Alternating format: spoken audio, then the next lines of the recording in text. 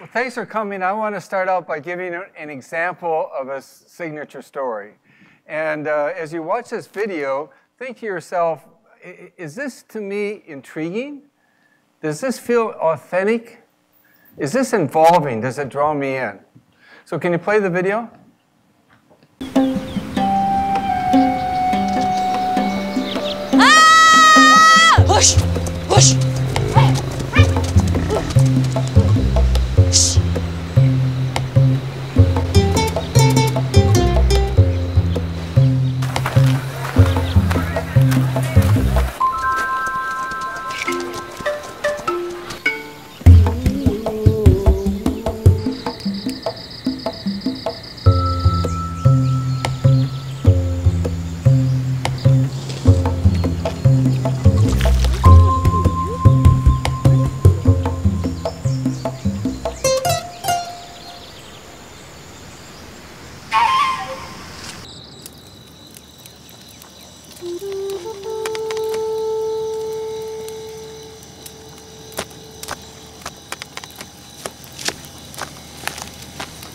Ayo tidur Tari, biar besok bisa bangun pagi.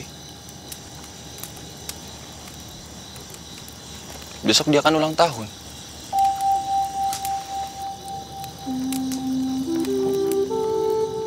Besok hari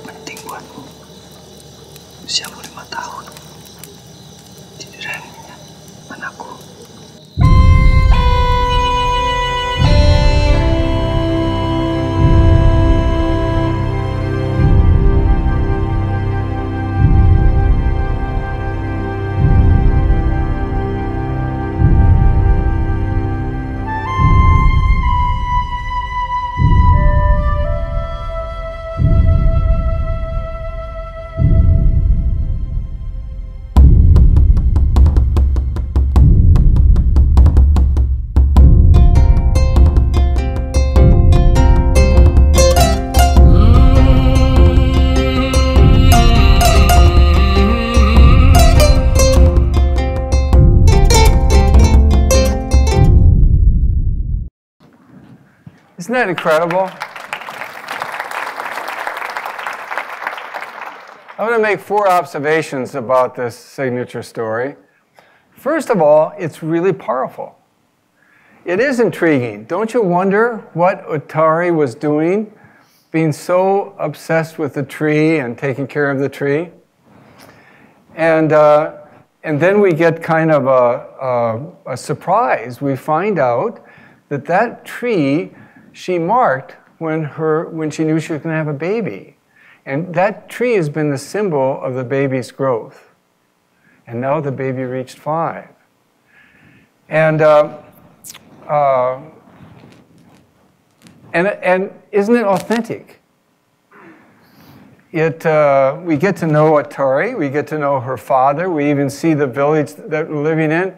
It is nothing but real. It has to be authentic to us. It, uh, and, and third, it's involving, isn't it?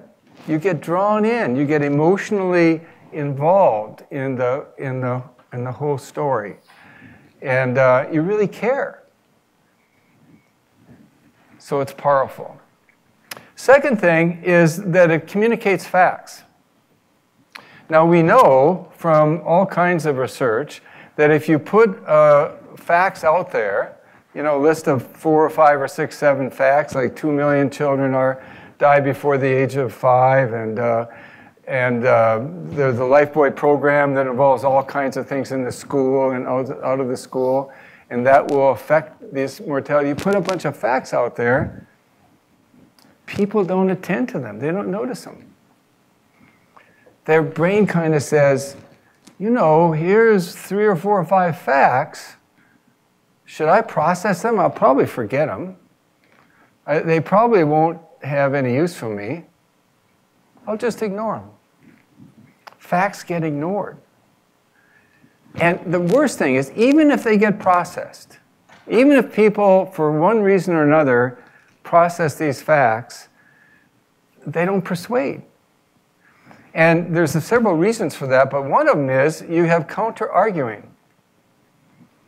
When you see facts, the natural inclination is to say, you know, this guy's trying to persuade me. What is he not telling me? You know, uh, maybe 5 million children. How does he know it's 5 million children? Where does he get the data? And how do you know that this washing hands is going to affect that and how much it'll affect it? Maybe it'll just have a tiny effect. There's counter arguing. So now think, uh, enter story. So instead of uh, the facts, we tell a story. And, uh, and what, what we can do is we can slip the facts into the story. So when you hear the story, you come to know that there's a problem with infant mortality. And it's related to hand washing. And so they slip that in. And, but even more important, they, uh, they set you up so now the facts are relevant. So now you're willing to process facts.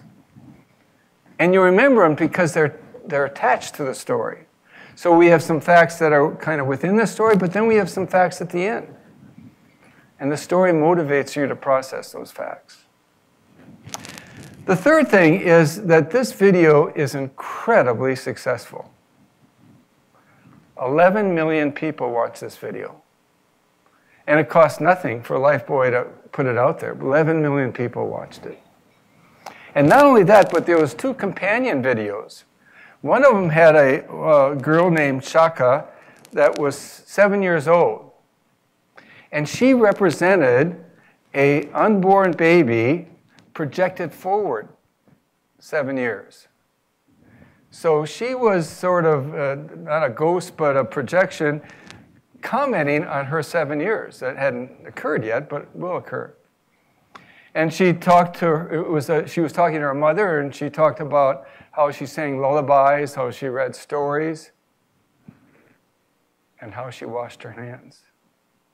And the girl was so grateful that her mother had done that.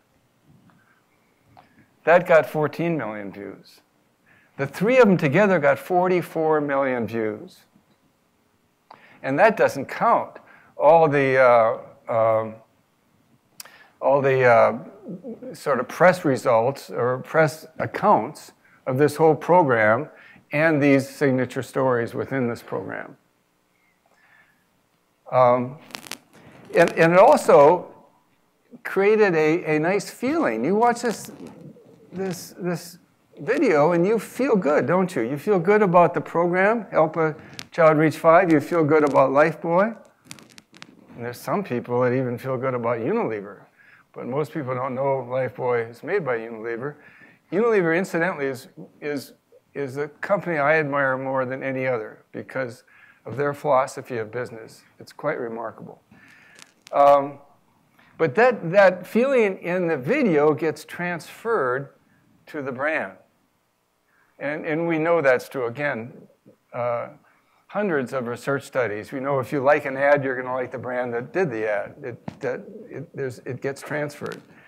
We know that. Um, and it was successful in helping this program, Help a Child Reach Five, uh, because Lifebuoy is one half of their goal of getting a billion people to change their hand washing habits. They're halfway there after eight years, and this video helped them get there. Fourth thing I wanted to say is that this is a signature story. And a signature story is intriguing, gets attention, it is authentic, and that means that things, words like phony, selling, this is just a selling job, they don't enter your mind if it's authentic. It's involving. That means you get drawn in, and that's one of the most powerful characteristics in any story. Um, and it's a narrative.